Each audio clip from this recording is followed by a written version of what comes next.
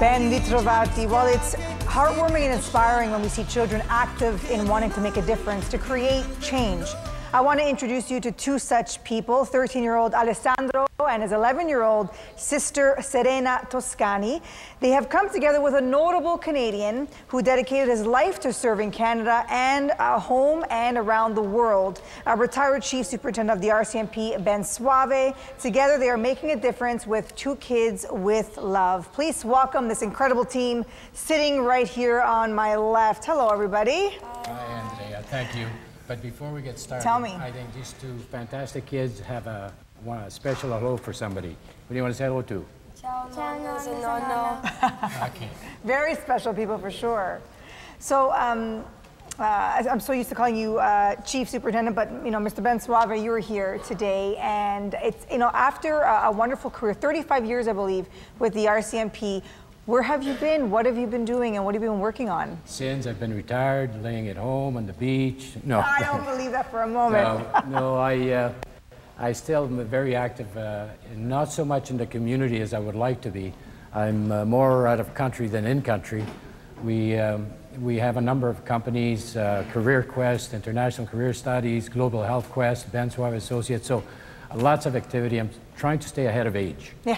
you know, because if I go fast enough, you know, we'll catch up to When it. you find the answer, let, let, let us know. Share that with It's a us. secret. The Italians know all about it. Exactly, for sure.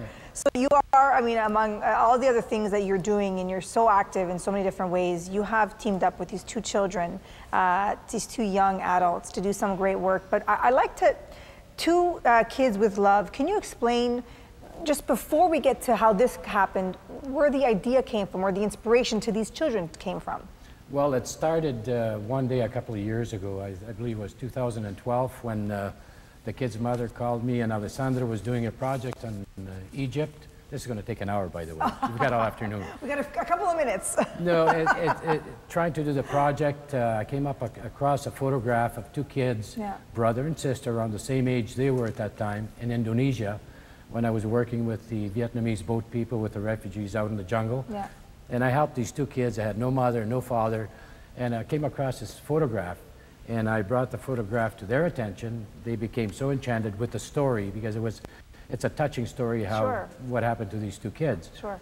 As a result of that, uh, we started to, to uh, deal with, uh, we were traveling to Mexico with their family, and this is where we met another lady who started a foundation, and we went and visited uh, a school that was in, in desperate need of help. And uh, eventually, these two kids went down there, and they became so passionate, so emotionally involved, so wanting to do something, and they've bo- both been out of this world, just fantastic. So we decided to incorporate Two Kids with Love and start a foundation, and they are the heart and soul of the, the foundation. The adults do what the adults have to do, but these two kids, they're the, the heart and soul of the foundation. They're fantastic. So tell me, Alessandro or, or Serena, what, what is it about helping? Why did you get inspired to do something? You know, why, you know, you're at school, you're, you're here, you're living in a great country, you've got everything you need, you're at, you have a wonderful education, but then you decide, hey, I want to do something different for someone else. I want to help. Why? Um, well, we were just, uh, when Ben told us about starting this company, uh, we thought, well, why would we do this? But then we went, when we actually went down there, we saw how the kids lived, and it was kind of just like us, except different conditions, right? And so we saw it's just like our friends here, and that's why we got more passionate about it.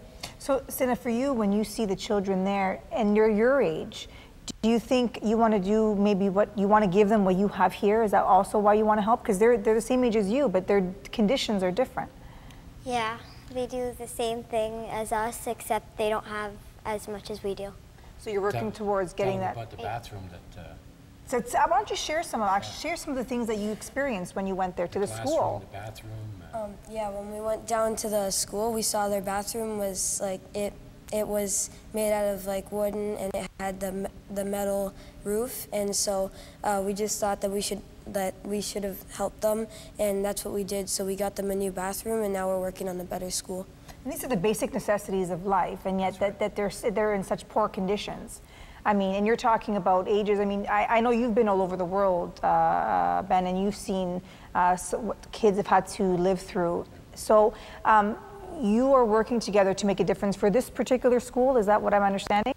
So, what, what are some of the things you'd like to see happen? If you're talking to our viewers at home uh, and other boys and girls like yourself, what do you want to see happen for Two Kids with Love to make a difference there? Uh, we want to see more people volunteer to help us out to build better schools for these people, and yeah, and because once they actually go down there, they'll they'll see that it's a, a lot better than what they think it is. Okay. Selena, you could tell them where, how they were eating uh, their lunches at school, uh, what we're going to do about building Um, Did you see, remember the photos where they were eating their lunch from, uh, where were they getting their lunch from? Out of a wheelbarrow? yeah, they were eating out of a wheelbarrow for Thanksgiving, and we thought that we wanted to give them something bigger to to eat from, like a cafeteria. So we're going to work on that. You're gonna work on that, You know, for what sure. Alessandro said, the, the the bathroom was built by the foundation that we were working together with. Yes. We're waiting for the CRA to give us the charity number so we can start taking funds and actually become e- financially involved in giving money. So at this stage, we're just waiting for the CRA approval. Sure. And what these kids are doing uh, is fantastic. I And think, You, you mentioned something to me, um, uh, Ben, and I, I think you found this. You went and found a beautiful quote that uh, maybe you could share with us something that we can remember. Um, it's that we make a living by what we get, but we make a life by what we give. and s- actually, Serena, if uh, anyone could see the, the plates that we're giving to Lenny and you guys for being so, uh, so gracious with us and inviting us. Uh, When we had, uh, the kids are fantastic. Serena came up with a slogan when uh, we were talking about these, and they will be for sale when we, we- when we can. What was your slogan that you came up with? The slogan is buy a plate, feed a child, buy a set, feed a family. Oh, goodness. Yeah, that was, That was this is how fantastic beautiful. kids are. Because it's coming from the heart. That's you know, it's coming from the heart and it's coming with passion and wanting to do something out there. I think it's wonderful. I hope that I know, I know that you have touched the lives of everyone watching today with your great story and with the passion you have to go out there and help other people. Uh, good job, guys. Good Serena, job. Serena gave the first donation to the foundation, $5 donation I to love the that. foundation. She can tell you how she did it. Um, well, I found a friend at school who needed her doll's makeover, kind of, and so I decided that I would do it because I'm really good with them. So you made And- repairs and you fixed. Yeah. Total Wow. makeover for American Girl. I love that. I love that. Well, unfortunately, we run out of time, but I want to thank you so much for being on our program today. Two Kids with Love, um, and we will give you more updates as it comes out. And when you get that charitable number and our community, we get out there and support you guys. It's always a pleasure to see you. That's fantastic. And being uh, here. thank, you for very coming much today. for the time, and thanks to Lenny for uh, having us as well. And what's his name? Ali? Ali, I've heard of that guy before.